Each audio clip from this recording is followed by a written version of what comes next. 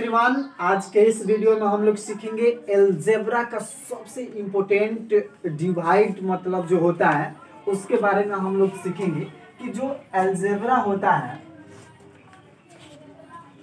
उसका डिवीज़न कैसे बनाया जाता है और क्या इसमें इम्पोर्टेंट होता है और बहुत ही मतलब इजी तरीकों से इसे डिवाइड करना सीखेंगे। क्योंकि इस वीडियो में ये एलजेब्रा का अगर आपने अच्छा तरीके से समझ लिया तो समझिए कि ज़िंदगी में कभी भी एलजेब्रा का डिवाइड से आप डरेंगे नहीं। तो आइए स्टार्ट करते हैं कि सबसे पहले कि एलजेब्रा का जो डिवीज़न होता है, वो कैसे मतलब बनाया जाता है?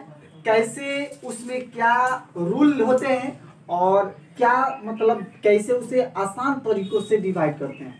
तो ये सब इस वीडियो में हम लोग अच्छे तरीकों से देखेंगे। तो ये स्टार्ट करते हैं सबसे पहले कि एल्जेब्रा का जो डिवाइड होता है, जैसे एक नॉर्मल डिवाइड से स्टार्ट करते हैं।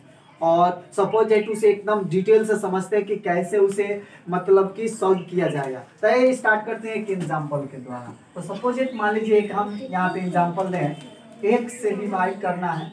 X cube plus two x square plus three x plus six ध्यान दीजिएगा। ये बहुत ही इजी क्वेश्चन लिखे हैं। तो ऐसे आप घबराइएगा मत कि इजी क्वेश्चन लिखे हैं सर ऐसे ही बताएँगे। लेकिन ये पहला स्टेप है, यानी टाइप वन है। टाइप वन यानी टाइप्स वन है जो बहुत ही इजी है। जब टाइप टू टाइप थ्री चलेंगे तो बहुत ही हार्ड हो जाएगा। तो आइए स्टार्ट करते हैं कि कैसे ही इजी तरीकों से इसे सॉल्व किया जाएगा। और आप सपोज़ मान लीजिए कि आप सिक्स क्लास में हो सेवन में हो एट में हो नाइन में हो टेन में हो, आपको सीखना बहुत ही ज़रूरी है। अगर आपको एल्जेब्रा का डिवीज़न नहीं आता है तो समझिए कि आपको मैथ में कहीं ना कहीं आपको मतलब बनाने में तकलीफ़ होगा। तो स्टार्ट करते हैं कैसे ये ये तो क्वेश्चन है जो बहुत ही इजी है। और इसे आप एक बार में मतलब समझने की कोशिश करेंगे तो आप सॉल्व कर देंगे। जैसे स्टार्ट करते हैं ये क्वेश्चन को बनाने के लिए। तो कैसे इसे डिवाइड किया जाएगा? तो सपोज़ मानिए यहाँ पे एक से, पहले क्वेश्चन को समझते हैं कि क्वेश्चन क्या करना चाहता है और क्वेश्चन क्या है। क्वेश्चन कहता है कि ये जो एक से, इससे इस क्वेश्चन में डिवाइड करना है। जैसे सपोज़ एक, मान लीजिए आप पढ़े होंगे पिछले क्लासों में या जो भी क्लासों में, जैसा कि मान लीजिए यहाँ पे टू है और यहाँ पे एट है। तो डिवाइड करना सीखे तो वैसे ही सेम तरीकों से अगर डिवाइड करना आपको आता है तो समझ लीजिए कि ये कंप्लीट समझ में आएगा। जैसे सपोज़ एक मान लीजिए यहाँ पे हमें डिवाइड करने के लिए किसकी ज़रूरत होता है तो यहाँ पे अगर टू हो और यहाँ पे एट हो तो देखा जाता है कि टू का टेबल कितने बार, कितने टर्म में पढ़ेंगे आके एट आ जाएगा तो आप कहेंगे, सर, इसे टेबल को अगर हम फोर टाइम्स पढ़ते हैं तो यहाँ पे एट आ जाएगा और ये कट जाएगा। तो उसी तरह मतलब सेम रूल इसमें अप्लाई होता है। जैसे आप कहिएगा, सर, इसमें तो एक नहीं है। एक, दो, तीन, चार। इसमें तीन, चार डिजिट है। तो ये कैसे सॉल्व होगा? तो ये फ़र्स्ट था। अगर सपोज़ एट मान लीजिए ऐसे टाइप को दे दे। टू एट फोर तो क्या आप क्या करते हैं? इसे फोर टाइम में ले जाएँगे। तो ये एट है जो कट जाएगा, फिर फोर लिखेंगे। और फिर टू टाइम में ले जाएँगे तो फोर भी कट जाएगा। ऐसे करते हैं। तो ऐसे ही इसको भी करेंगे। जैसे आइए समझते हैं कि मतलब कैसे करेंगे। यहाँ पे सपोजिट एक्स है और यहाँ पे एक्स क्यू है? तो कहा जाता है मतलब समझने की ये कोशिश करिए कि एक्स में किस डिजिट यानी किस नंबर या किस से मल्टीप्लाई कर दे कि एक्स क्यू हो जाएगा। तो सपोज़ थोड़ा सा हम यहाँ पे समझाते हैं डिटेल डिटेल से समझाते हैं। जैसे मान लीजिए सपोज़ एक्स यहाँ पे। इसका पावर कुछ नहीं है तो वन है। और ये मुझे एक्स क्यू के इक्वल करना है। ध्यान दीजिए यहाँ पे एक्स क्यू है, और यहाँ पे एक्स है।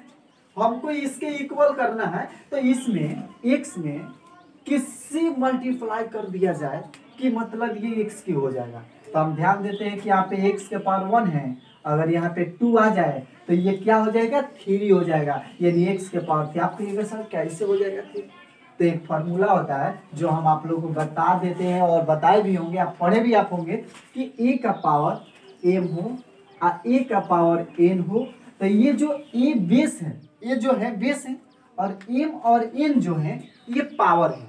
तो होता क्या है कि ये बेस जब सेम रहता है तो बेस को लिख दिया जाता है, ऐसे ही लिख दिया जाता है।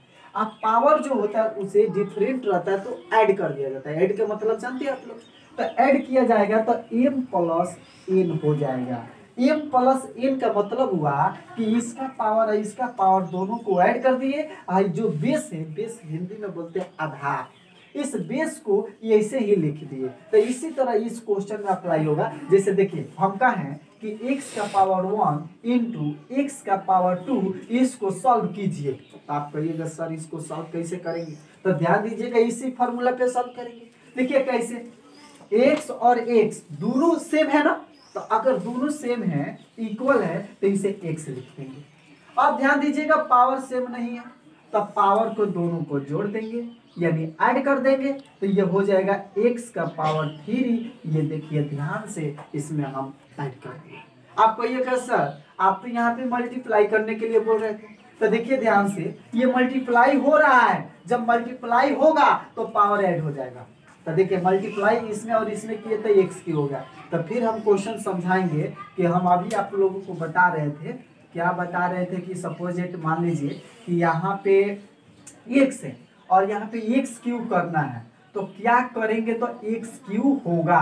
तो अगर एक्स स्क्वायर से ले जाते हैं, ध्यान दीजिए, अभी आप समझाए कि एक्स स्क्वायर से ले जाएँगे तो एक्स क्यू अगर एक्स स्क्वायर से एक्स में मल्टीप्लाई कर देते हैं तो हो जाएगा एक्स क्यू यही सबसे इंपॉर्टेंट बात है। अगर ये आ गया समझ में तो समझिए आपको क्वेश्चन बनाने आ गया।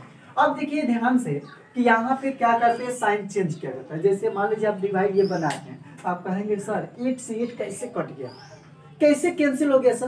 तो इसके लिए आपके दिमाग में आएँगे, यहाँ पे सर ने ज़रूर सॉफ्टेट किए होंगे। सॉफ्टेट का मतलब होता है, जैसा कि मान लीजिए एट हो या एट हो, ये दोनों प्लस में हो। तो ये बताइए, ये कट सकता है, नहीं कट सकता है? एक इसे नेगेटिव होना चाहिए मतलब एक माइनस में होना चाहिए, तब इसका रिज़ल्ट कट सकता है, यानी ज़ीरो हो सकता है।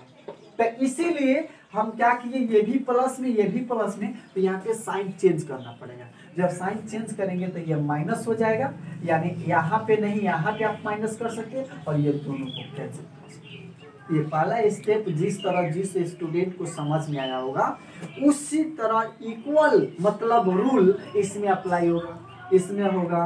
और ये तो मान लीजिए एक्स नहीं है तो ऐसे ही रिमाइंडर में इसे लिख देंगे। जैसे सपोजिट मान लीजिए इस पर यूज़ करते हैं। देखिए टू एक्स स्क्वायर अब कहेंगे, बहुत से बच्चे के दिमाग में चल रहा होगा, सर, यहाँ पे टू आ गया।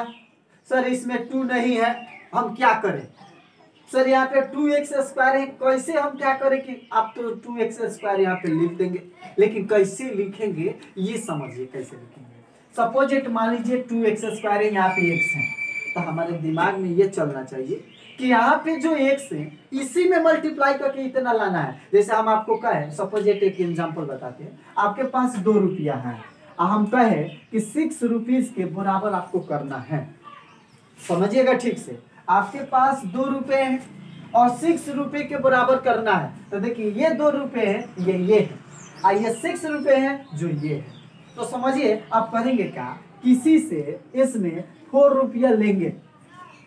अगर किसी से फोर रुपया लेंगे आप तो ये आपका सिक्स रुपया हो जाएगा। तो इसी तरह यहाँ पे देखेंगे कि क्या इसमें ये लेंगे, आकि इनके इक्वल हो जाएँगे। तो सपोज़ हम देख रहे हैं कि इनके पास टू है तो इनके पास टू नहीं है। तो सपोज़ डायरेक्ट लिख देंगे टू अब देखिए ध्यान से, इनके पास एक्स का पावर वन है।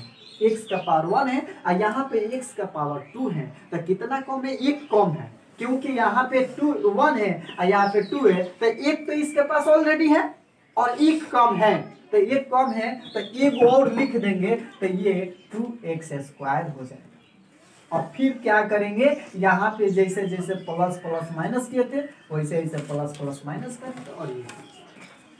अब फिर थर्ड स्टेप में इसे लिखेंगे थ्री एक्स और ये फिर आप देखेंगे कि इससे कंपेयर करेंगे इस दोनों को कि इक्वल कैसे होगा ये बताइए यहाँ पे एक्स यहाँ पे थ्री एक्स यहाँ पे एक्स और यहाँ पे थ्री एक्स इक्वल कैसे करेंगे तो दिमाग लगाइए यहाँ पे एक्स है तो एक्स है सेम है लेकिन बट क्या नहीं है तो थ्री नहीं है तो यहाँ पे प्लस देकर अब देखिए यहाँ पे प्लस क्यों दिया जाएगा अगर यहाँ पे प्लस रहेगा दिमाग लगाइए अगर यहाँ पे प्लस रहेगा और यहाँ पे प्लस रहेगा तो यहाँ पे प्लस होगा या यहाँ पे या यहाँ पे अगर माइनस हो जाए तो यहाँ पे माइनस हो जाएगा। तो ये प्लस थ्री लिखेंगे। अब बताइए थ्री में और एक्स में मल्टीप्लाई करेंगे तो ये थ्री एक्स हो जाएगा। ये भी माइनस कट जाएगा। सिक्स जो, ये रिमाइंडर में बच जाएगा। तो ये बहुत ही टाइप वन में हम बताए। अब चलेंगे टाइप टू में। तो फुल मतलब डिटेल से क्वेश्चन को समझेंगे कि कैसे मतलब सॉल्व करें। ओके